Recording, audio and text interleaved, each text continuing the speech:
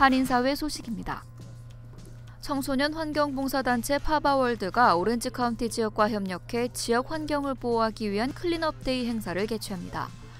헌팅턴 비치 인근 생태 보호지로 알려져 있는 볼사치카에서 이루어지는 이번 행사에는 남가주 지역 파바 회원 250여 명과 지역 주민들이 참석해 생태 보존의 소중함을 체험하게 됩니다.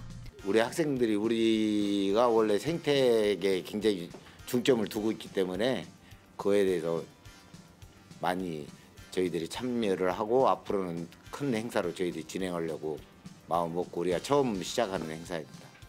한편 올해를 시작으로 볼사치카 지역에서는 매년 7월 파바데이를 정하고 환경 리더십 교육 프로그램을 소개하는 행사를 개최할 예정입니다. 공급업체로부터 가짜 원료를 받아 논란이 되는 등 여러 악재에 시달려온 한국의 건강식품 기업 천호식품이 미주 지역 소비자 신뢰 회복에 나섰습니다. 천호식품 한국 본사는 미국 총판 헬스코리아와 손잡고 원료부터 검수까지 100% 자체 생산한 프리미엄 홍삼 제품의 미주 지역 출시를 시작으로 제2의 도약을 선언했습니다.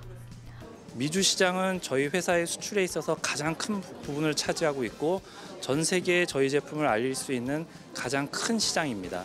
저희 제품이 저희 브랜드가 본격적으로 세계에 알려지기 위한 전진 기지이자 그 성과를 가장 크게 내야 하는 가장 중요한 시장입니다. 천호식품의 미주 지역 총판인 헬스코리아는 최근 다운타운과 한인타운의 지점을 늘리는 등 공격적인 영업망 확대에 나서고 있습니다. 건강기능식품의 판매가 급증하는 여름철을 맞아 프리미엄 홍삼 시장에서 1위를 달리고 있는 정관장과의 본격적인 경쟁에 나서겠다는 계획입니다.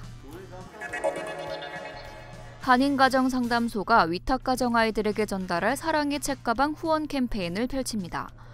가정상담소 측은 7월 말까지 책가방이나 학용품, 후원금의 도네이션을 받아 8월 초 LA카운티 아동보호국에 전달할 예정이라고 밝혔습니다. 한인가정 상담소는 지난 3년간 한인사회의 후원으로 천여 개 이상의 책가방을 보호국에 전달한 바 있습니다. CNN의 여행 전문 웹사이트 CNN Travel이 한국을 멋진 국민성을 가진 국가로 평가했습니다. CNN Travel은 국민성이 좋은 14개국을 선정하면서 한국을 국민성 측면에서 여행해 볼 만한 여섯 번째 나라로 소개했습니다. CNN은 한국의 음악과 영화, 패션이 아시아권 대중문화의 흐름을 주도하고 있다며 한류 현상을 매력으로 꼽았습니다. 또 한국에는 재밌는 술자리 문화가 많다며 한국인들은 전 세계에서 최고의 술친구라고 전하기도 했습니다.